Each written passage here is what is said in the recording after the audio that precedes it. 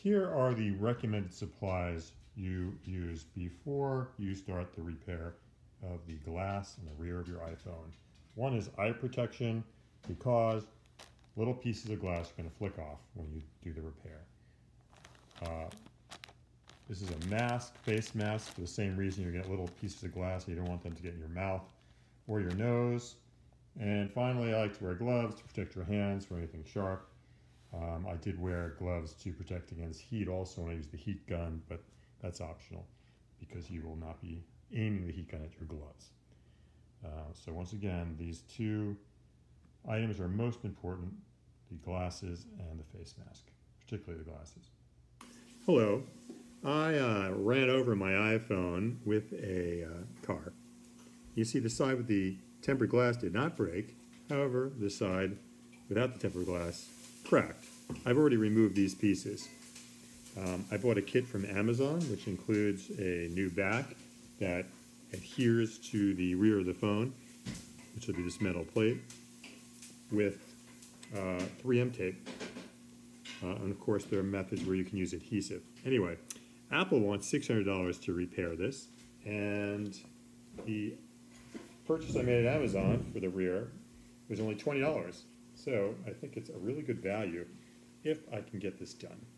So I've been using a hair dryer because my heat gun I think is too hot. It's recommended uh, by one person uh, repairing these phones on the YouTube to use 200 degrees Celsius and my heat gun heats up to uh, 575 I think on one setting and 400 on another. So I just use this old Conair uh, uh, hair dryer set on medium and it seems to be working.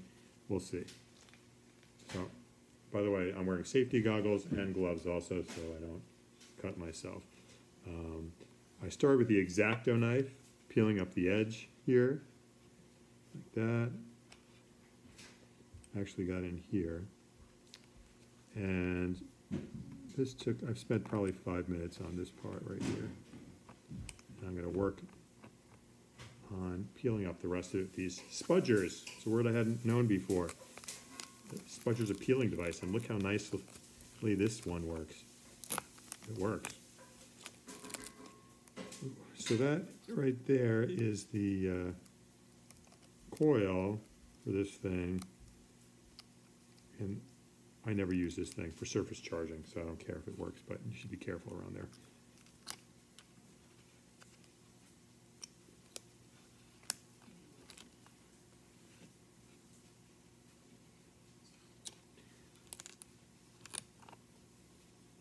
Regarding the safety glasses, I did feel little pieces flick into my face before when I first started. And that is why you want to wear this stuff. Oops. I got some in my mouth just before, but I spit it out. Oh, be careful. In fact, I might cover it with something so it doesn't just shoot everywhere.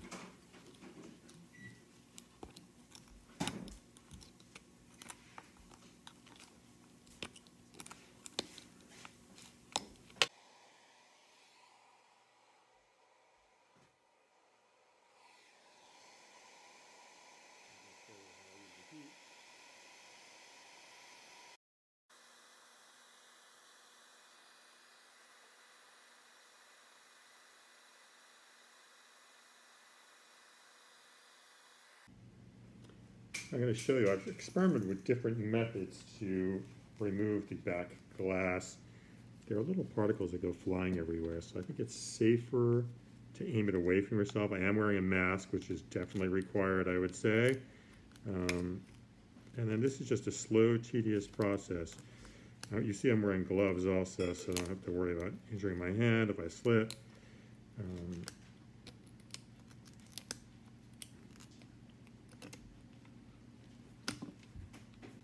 This is an X-Acto knife that came with it. I have other blades if this one is starting to get dull, which it seems like it is. Um, because it seems to be the most effective tool right now because the spudgers are too thick and can't get under the glass um, and separate it from the, I assume is aluminum backing.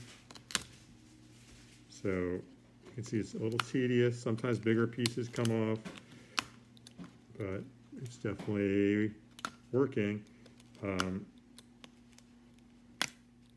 it'll be interesting to see if the coil still works. You can see when I took those first few pieces off, I went fairly deep with the spudger and um, separated that coil, but I think it's continuous and therefore should work.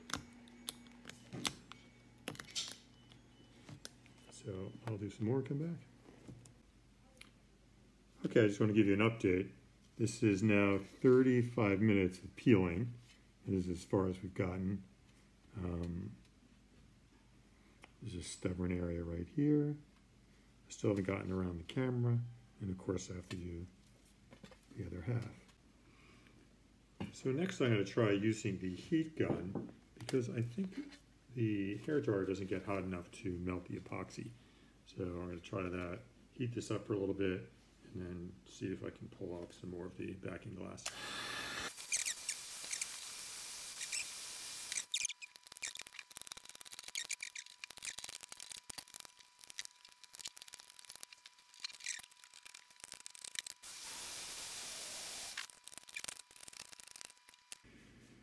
Okay, this is now um, approximately two hours it took me to get all that stuff off.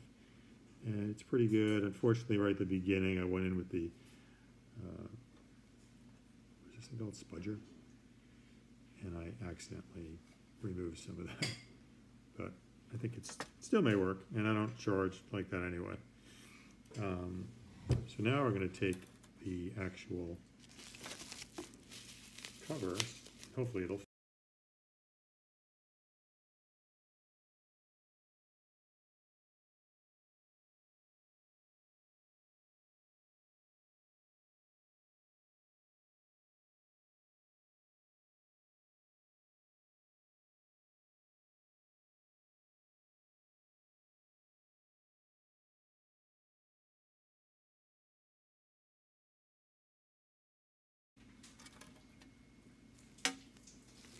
All those little pieces, by the way, are the little pieces of glass.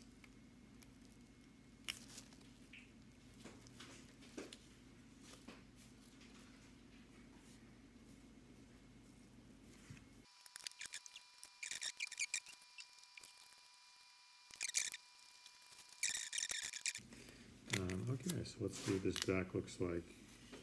Look at that, friends. That is a new phone. So it looks.